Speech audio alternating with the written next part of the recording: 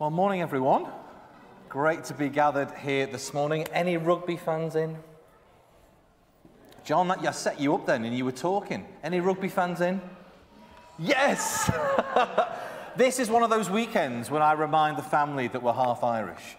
Um, anyway, uh, the kind of weekend where we, that's what I say to the kids. Um, I hope you've had a good weekend. I hope you have been enjoying the teaching series that we've been on at the moment. We've been working our way through Mark's Gospel um, since the new year, and we've been in a couple of mini series, and this one's called The Jesus Stuff.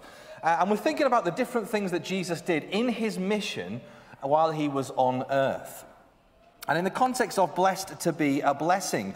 And uh, if you haven't had a chance to read through Mark, I encourage you to, to do so. There's so much uh, richness in this. And last week, if you, if you were here, you'll remember that Adele took us to the end of chapter 6. And we're picking up the story in the middle of chapter 8. And you're obviously thinking, hang on, what about chapter 7 and the first half of chapter 8? Let me say two quick things to that. Firstly, is we're trying to get to Palm Sunday for the reading for Palm Sunday. So I will say that. Don't make no apologies. We're trying to line things up. But also, we can't go through absolutely everything in detail. What we can do, though, is a chapter and a half catch up in a minute, which I'm going to try and do now. Are you with me? Excellent. So if you, if you move back one page and have open page 1010, let me just catch us up on what has happened just before this reading uh, that takes place today.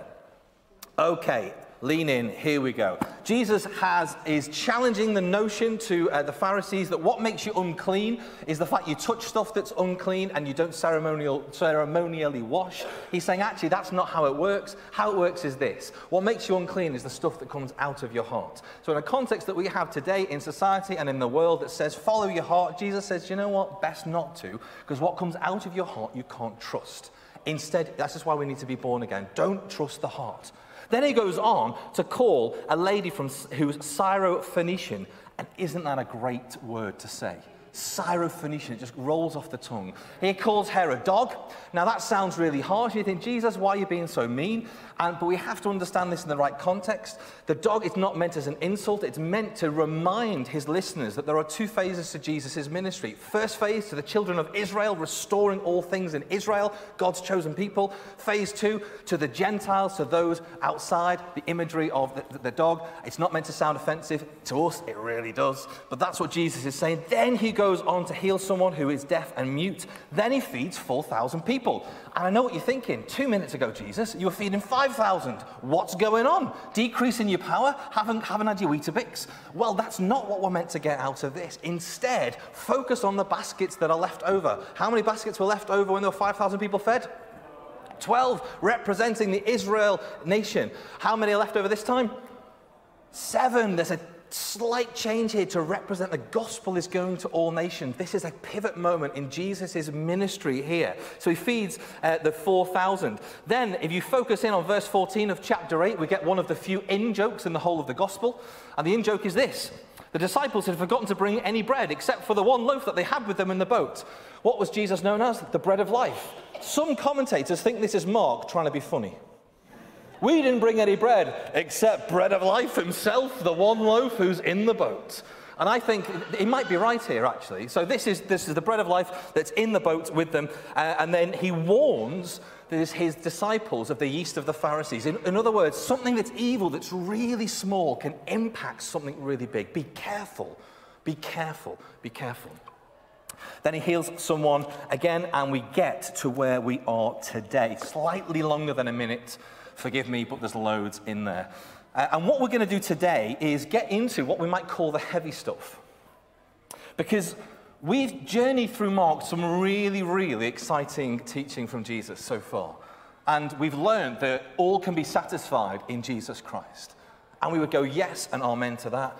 We've learned that we can be healed and forgiven and set free, raised from the dead. Yes and amen to that. Last week we heard from Adele that Jesus sees us, knows us, and answers us yes and amen to that.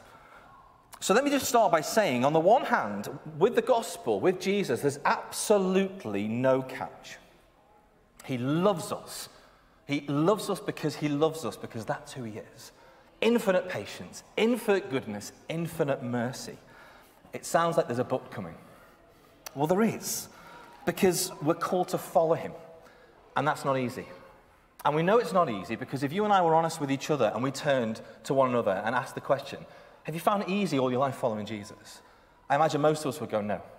There's been times we might be in the season right now where it's not easy to follow Jesus, so we know that. The other thing is the life and the work and the teaching of Jesus himself tells us it's not easy following Jesus.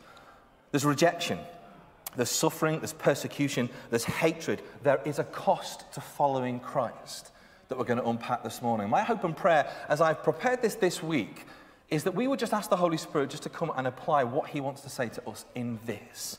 What does it look like as we follow Jesus. I'm just going to break all this up into three chunks.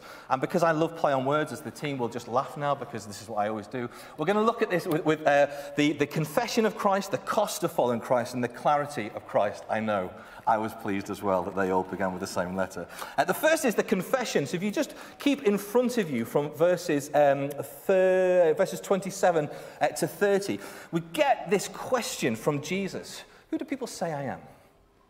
Who do people say I am? Because the central truth of Christianity is not a set of moral guidelines to live by. It's not a philosophy to uh, say yes or no to. It centers on a person and who he is. This is a man who was standing in front of them who is meek and gentle and lowly, and yet said he was the salvation of the world. This is a man who got on his knees and washed his disciples' feet, and yet he said he would come again to judge the entire world. This is the man in front of them. Who is he? And the disciples uh, sum up what the talk of the town would have been at that time. All of these things would have been thereabouts in the hearsay. Some said he was the second John the Baptist. Others said that he was Elijah returning to prepare the way for the Messiah. Some people, other prophets, such as Jeremiah or maybe Isaiah, and these were great figures in uh, Israel's history, but com- and comparing them to Jesus, though, wasn't enough. They fell short of who he was. So Jesus presses the question to his disciples themselves But what about you? That's them. What about you? Who do you say that I am? Because these are the guys who've journeyed with him, as we have over the, the last couple of months. They've seen him walk on water, they've seen him still the sea, they've seen him feed 5,000, 4,000. They've seen him raise the dead. They've seen him heal the sick. They've seen him do all of this. Who do you say that I am? And at this moment, uh, we're faced with this question as well, but at this moment, you have this silence. And up steps Peter. Don't you just love Peter? Peter, the guy who cannot stand an awkward silence. Peter, the guy that would probably not stop singing and talking on a car journey. Peter, the guy who's always got something to say. Do you notice how most of us have heard, oh, I'm just like a Peter? We might say it ourselves or we've heard someone else say it. Very rarely you hear, I'm such a Paul. We hear just a, we hear I'm such a Peter. He's the guy who speaks without thinking, often puts his foot in it. And if you haven't thought that about yourself, someone's popped to mind who is a Peter probably in the last few seconds. He, he is this guy. And he speaks up, You are the Christ. And this is a wonderful moment because this isn't a foot in mouth moment for Peter. He absolutely hits the nail on the head, but he doesn't fully understand. In Matthew's version of this account, Jesus responding to Peter says, Blessed are you, Simon, son of Jonah, for this was not revealed to you by man, but by my Father in heaven. You haven't figured this out. God has revealed this to you that you're responding to. The great preacher C.H. Spurgeon said this in a sermon on these words It's not only what Peter knew, but the way in which he came to know it, which made him blessed. He goes on to make the point that this is true of you too if you are a Christian. The reason you believe, as you do, is because God, the Holy Spirit, has shown you, convinced you, and given you the gift of faith to see and lay hold of Jesus Christ. God has revealed Jesus to us that we respond to. And that's, that's how many of us uh, are here today. We've responded to that gospel. And often there are two ways that that happens. There's the instant getting it, trans- transformation, those testimonies where someone wasn't a follower and suddenly they are. And it might be that that is your testimony. That was, that was mine at the age of 15. I suddenly got that Jesus Christ is who he says he is, did love me, had died for me. I wanted to follow him. But for some of us, it's a long journey. And we might find ourselves this morning going, "Do you know, I can't put my finger on when it was, but I know I'm there. And C.S. Lewis uh, described this brilliantly in the imagery of traveling in a car. He would say, actually, for some of us, if we're awake when we travel from one country to another, we know we've crossed the border. For some of us, we were asleep or we're distracted. We're in the new country, but we don't remember when it happened. And it's a bit like that with, with, with our journey of faith. Both of them are valid and beautiful testimonies because it's about where we are now, not the moment we can remember. So he used that. And, and, and the question we are faced with today is who do we say that Jesus is? It starts with a confession that he is the Christ. But then we go on to what the cost of that means from verses 31 to 33. The cost for Jesus, primarily.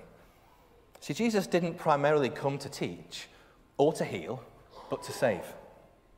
And you notice in those words there, he uses the word must over and over again. He must do this. He must do this. It's not he might, it's not if he can get to it. He must do these things. There is no other way that we can be saved apart from Jesus Christ laying down his life. And this is the key teaching of the church. And for 2,000 years, this has been attacked from within and without, uh, outside the church. But actually, we need to hold tight to the gospel that Jesus Christ came into the world to die.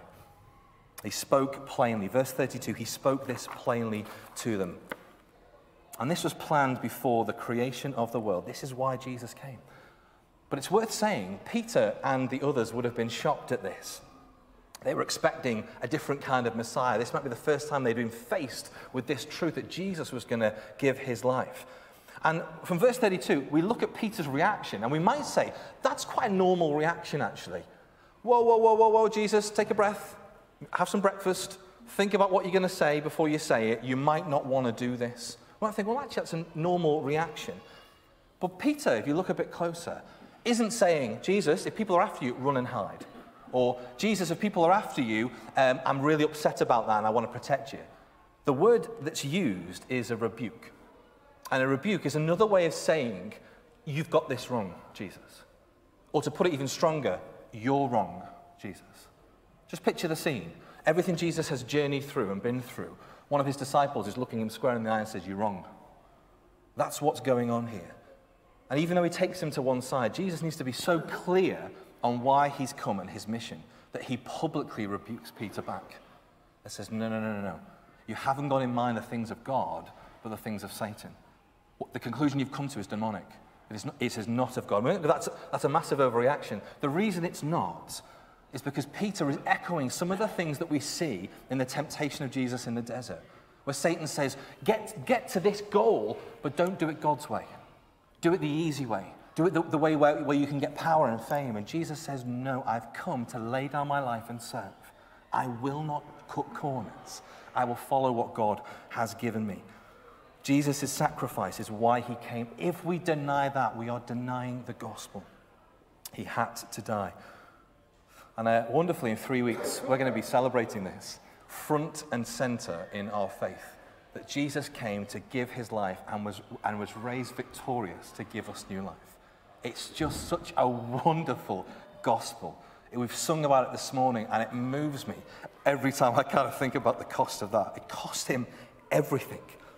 And we have new life because he rose to new life. But if we're going to follow him as disciples, picking us up from verse 34, it means we follow him even to the cross. And this is where it gets a bit tricky. He says, If anyone would come after me, he must deny himself, take up his cross, and follow me. For whoever wants to save his life will lose it, but whoever loses his life for me will find it. Have you ever used the phrase, This is the cross I bear? We hear it bandied around often, and it's used for things that might not actually be that heavy. Sometimes they are, don't get me wrong, but sometimes they're not. Maybe that, that family member who turns up or whatever, it's the cross that I bear. And we almost minimize this because we make it about something that's unavoidable. But what Jesus is talking about here is something that's very avoidable. It's the choice to follow him to the cross or not. We very much have a choice in this. The sufferings that we face for his sake. And it really isn't a pretty picture. And he uses his language deliberately. He says, Follow me, pick up your cross. Picture it lined up behind me. Jesus and women and men, crosses over their shoulder, ready to go and be humiliated, tortured, beaten, suffered, persecuted, all for the sake of Jesus, the dishonor. And several of his disciples, we know from church history, went the way of the cross literally. And Jesus is saying we must be ready to deny ourselves, maybe even our lives, for the gospel. Are we prepared to be rejected, despised, misunderstood, misrepresented, freedoms affected, even lives endangered? Because the bar of the kingdom of God is incredibly, incredibly low. It's receiving the finished work of Jesus on the cross. But the bar of discipleship is very, very high. It's pick up your cross, die to self, and follow him. Our brothers and sisters around the world know this better than us, I, I think. We support uh, an agency, a mission agency called Open Doors for persecuted Christians around the world. And many, this is the daily reality of suffering and persecution for the gospel. But for us, we must be reminded that true discipleship is not a private faith. It's not a private opinion. We must be outspoken and unashamed for Jesus. And he pleads with us don't take that wide path, don't take that way, follow me, don't compromise. So, what does this look like for us, I wonder, in our everyday lives? It will be different for each of us. I've uh, heard many times that people struggle uh, with the Bible. And whenever I push back and go, well, what do you mean? Ordinarily, what they mean is there's bits of the Old Testament that sound horrible because God's in a bit of a, a mood. But the New Testament, because Jesus is lovely, is fine. And I often push back to go, well, for me, it's probably the other way around. The passages that scare me or challenge me the most are the words that come out of the mouth of Jesus. I find them the hardest. Read with me on verse 38. If anyone is ashamed of me and my words in this adulterous and sinful generation, the Son of Man will be ashamed of them when he comes in his Father's glory with the holy angels. We might feel shame at times for following Christ faithfully in the world against the tide of culture, but that is nothing compared to the shame of hearing his call and ignoring it. That's nothing compared to that. What is the cost that all of us need to put to death? I feel I'm preaching to myself this morning, flipping out. Sorry. Um, so there's a confession of Christ, there's following Christ. But then there's the clarity. I wonder if, like me, you feel a bit wobbly hearing some of this stuff. And I think deliberately we see where the, the scripture goes next. So, this beautiful image of the transfiguration of Jesus. Because I think if I was Peter and the disciples and I'd heard, do you know what? I've got this wrong, I've been rebuked, and there's a cost and I'm going to have to die to self, I might need a little bit of a pick me up at this point. And I think sometimes that's a helpful way of seeing the transfiguration. You're feeling a bit wobbly, but then you see Jesus in his glory, which just tells you this is actually who he says he is. He, you can trust his words. Verses 2 to 3, we see Jesus of chapter 9, Jesus full of dazzling white light. In the Old Testament, light is repeatedly associated with the holiness and the beauty of God. In the light of this call, this hard call, Jesus is saying, But you can trust me because I really am who I say I am, the Holy One. We see Moses and Elijah turn up and Mark wants to tell us that there's something about the continuity of the Old Testament, the Old Covenant, with the New. Elijah representing the graces of the prophets, Moses, the law, that Jesus is going to fulfill both of them. That he's not just a new direction, he's the fulfillment of everything God was doing. And he appears in front of Moses and Elijah. I wonder at this point, do you ever think, I wonder what they talked about? There's certain moments in the Bible where I go, I would have loved to have known what they talked about. Did they turn up on time or was Jesus waiting? What, what, what did that scene look like? And I wonder if you walked in on a conversation, what would you say? Well, we don't have to think about that because in steps Peter again, who says exactly what all of us would be thinking. Should we put some tents up? Should we establish New Wine Middle East in, in the middle of here? No. I love Peter. He doesn't know what to say. In those situations, some of us will comfortably stay silent and wait for someone else. Not Peter. In we go. Let's get that tent up. Here we go. You know who you are. Anyway. Um, but what this is a wonderful reminder here is this life, this mission we're called to, is never mountaintop. Now, we need the mountaintop, but it's never mountaintop. It's never meant, we're never meant to stay there. That's why it's so amusing, Peter saying, let's camp out. It was never a place to camp out. Our call is valley based because we, we want to stay there on the mountain. We, we hear those mountaintop experiences, and it might be that that's Sunday morning, it might be a, a great quiet time that you've had, it might be that conference you've been to where we go, oh, and God was just so present there. And we're tempted to stay. We're never called to stay there, though. We're called to go back into the world.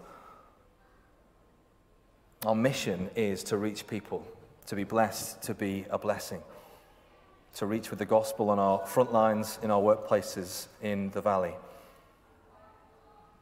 And this passage has one further affirmation for Jesus, but also for us. The beginning of his ministry after he's baptized, we hear this voice from the Father that says, This is my Son whom I love. And we hear it again now. That actually, as he's about to turn and face the cross and journey towards Jerusalem, we're reminded again this is the Son of God. This is the one we can listen to. This is the one that we can trust. We can listen to his voice and we can obey it. There is a confession, the cost, there is clarity. But finally, as I come into land, I just want to finish by um, reminding us don't you notice that in life, actions often speak louder than words? If I was to ask you now who has made an impact on your life, the chances are you won't be able to remember much of what they said, but you'll be able to remember what they did. Maybe it's time with you, maybe it's something that that's impacted your life, good, maybe or bad. I don't remember the, the conversation Luce and I had on our first date, but I do remember where we, went, where we went, and I do remember laughing a lot. Um, but we're often impacted by actions more than words. I'm just going to illustrate what I mean by this. So just follow me if you, if you would. Put your hand out like this for me. There's a purpose to this. Make a circle like that, okay? And then put it on your chin. Why have you put it on your cheek?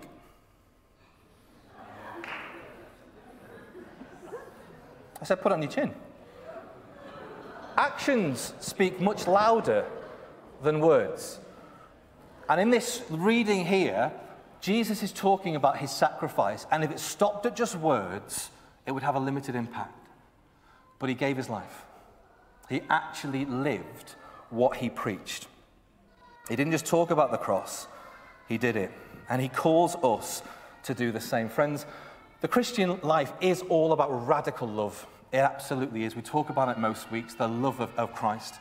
But, friends, it's also about picking up the cross, denying yourself, and following Jesus. And maybe we need to talk also about that a little bit more, because that is the path that leads to life. Uh, I'm just going to finish with a quick story, if that's okay, before we pray. Um, this week I've been reading, uh, again, the, the Wonderful Life of Dietrich Bonhoeffer. And uh, a bit of a, a, hero of mine, if you, if you know his story, he, he was a, a German uh, theologian, pastor around the time of Nazi Germany, and, uh, and was stood against the regime, and actually was in a plot to assassinate Hitler. And he was arrested and he was uh, in, in a camp for a couple of years before eventually he was executed for standing against uh, the Nazis. And uh, he died on the 9th of April 1945 with six others. And I'd just like to, to read this to you, if I can get through it, because it's absolutely not me for six this week. Um, the prison doctor, H. Fischer-Hüllstrung, unaware of who Bonhoeffer was at the time of his death, years later reflected on how the prisoners were taken from their cells and the verdicts of the court martial were read out to them. Through the half open door in one room of the huts, he says, I saw Pastor Bonhoeffer before his death, taking off his prison garb, praying fervently to his God. I was most deeply moved by the way this lovable man prayed, so devout, so certain that God heard his prayer. He went on. At the place of execution, he again said a prayer, climbed the steps of the gallows, brave and composed. His death ensued in a few seconds. In the almost 50 years that I have worked as a doctor, I have hardly seen a man die so entirely submissively to the will of God. Bonhoeffer's last recorded words were spoken to a captured British agent, Payne Best. He said, This is the end for me the beginning of life. Friends, whoever loses their life for the sake of the gospel will save it. Or remembering this morning the sacrifice of Jesus as we come to his table, receive bread and wine. And it seems that's the right way to respond. But it might be that God wants to minister to you in his word this morning. And there's a couple of ways that we're going to do this. Um, if Jesus has challenged you, you may simply wish to acknowledge that where, where you're sat. But as we come for bread and wine, if you feel there's something God's calling you into deeper water with, I want to just, just as you receive bread and wine, just pray a simple prayer. Lord, forgive me and lead me, just as we turn again to pick up our own cross. We actually have made some crosses over here that you might want to take to pop in your Bible and on your, your desk this week. It's just as a simple scripture, just to reflect. And we also have prayer ministry team available who, if you want to pray or process this with anyone. But this morning, as we think about the cost of following Jesus, we go because he first went there. He gave his life for us and calls us to respond with him. Let's pray together.